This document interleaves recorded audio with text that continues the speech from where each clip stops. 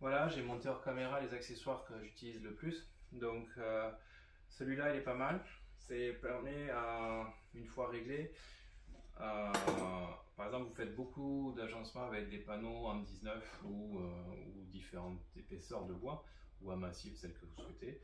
Et ça permet qu'une fois l'épaisseur réglée, on lève la règle, on met la pièce avec le trait préalablement tracé si c'est un angle euh, quelconque, on pose la règle, on scie, on enlève la pièce, on passe à l'autre. Donc ça c'est pratique, on a juste levé, on pose, on coupe. Euh, donc ça c'est un accessoire qui peut être pratique si vous avez beaucoup euh, de petites coupes à réaliser rapidement sans avoir le rail à poser, machin, tout chose. Vous mettez, on coupe, on coupe.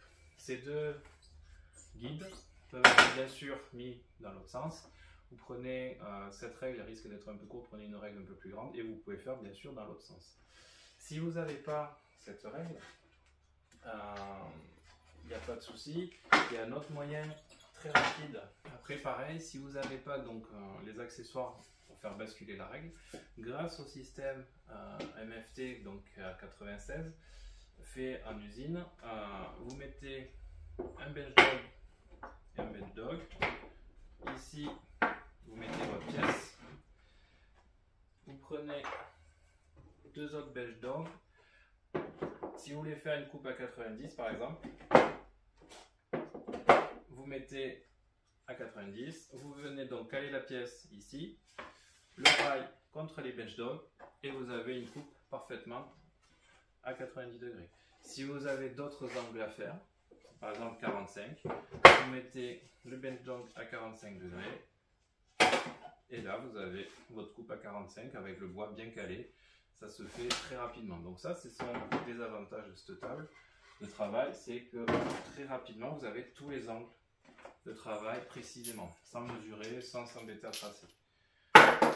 Autre accessoire intéressant, donc je ne l'ai pas tout à fait monté, euh, c'est juste pour vous montrer, euh, c'est qu'il y a une table additionnelle qui vient s'insérer, donc dans le rail de la table MFT. On vient mettre la défonceuse par-dessous, donc une OF 1400 ou 2200. Euh, euh, on peut aussi adapter, des défonceuses non festool, mais il faut regarder euh, les caractéristiques techniques. Et on a une mini toupie sous table. donc ça c'est très pratique sur chantier pour refaire des chanfreins ou des pièces, des rainures, des, des, poignées intégrées, plein de choses avec juste une table complémentaire et cet accessoire et la défonceuse par-dessous. C'est très facilement réglable et on se retrouve avec une mini toupie euh, défonceuse sous table extrêmement pratique. Donc ça c'est vrai que la table de base est très chère euh, par rapport à la concurrence. Par contre, dès qu'elle travaille en système, elle trouve tous ses avantages. Cette table peut être mise sur ce côté ou sur ce côté, ça dépend ce qu'on a comme environnement. Euh, il existe d'autres tables pour adapter d'autres accessoires. Et ensuite, il existe aussi des MFT de taille différente qu'on va pouvoir ajouter en latéral euh, d'un côté ou de l'autre. Donc en fait, c'est une table qu'il faut voir dans un ensemble festool. Donc ça coûte cher, mais par contre, euh, c'est très adapté euh, aux professionnels. si on l'utilise tous les jours, c'est très vite amorti. Donc voilà pour cette table. Elle est très lourde, mais par contre, grâce à l'environnement festool, elle devient intéressante.